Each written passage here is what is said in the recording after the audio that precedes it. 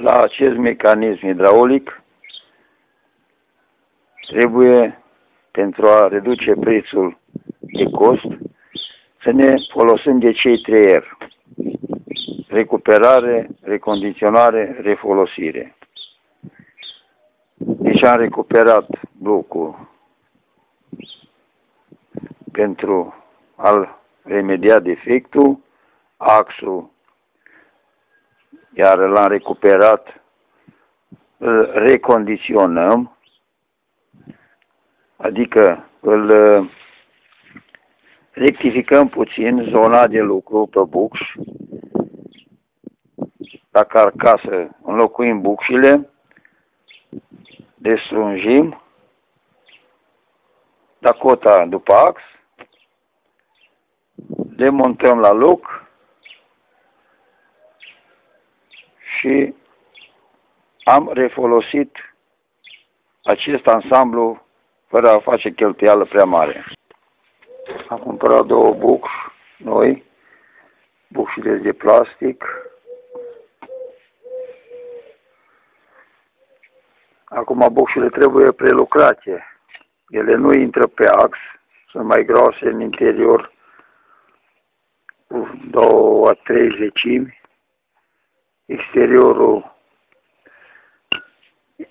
este la cota butucului exterior.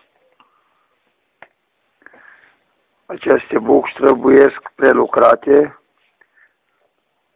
la strung, confecționând două dispozitive în care le presăm în interiorul dispozitivului, spin strungite în interior, două trezecimi până intră pe ax. Din acel dispozitiv le depresăm prin trecere dintr-o din dispozitiv în în suportul lagărului. Avem bucșa presată în acest dispozitiv. Acum strungim uh, interiorul bucșii. Strungim la cota axului. Cota axului este de 55. Interiorul bucșii este de 54 cu 7.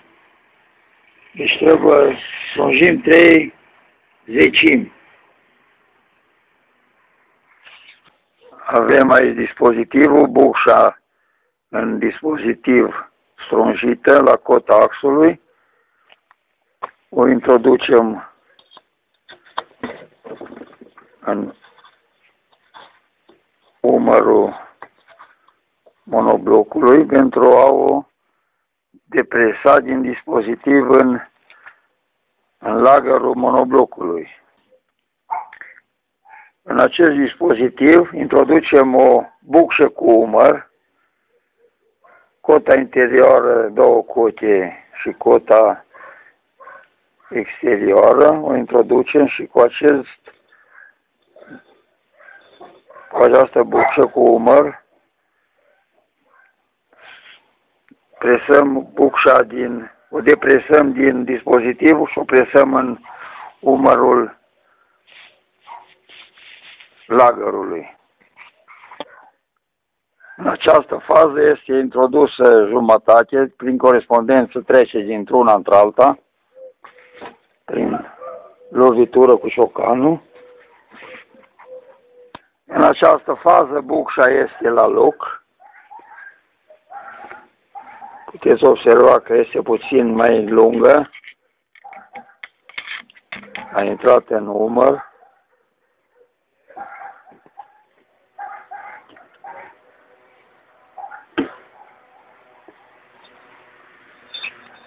Facem tornul, presare, dispozitivul și bucșa cu umăr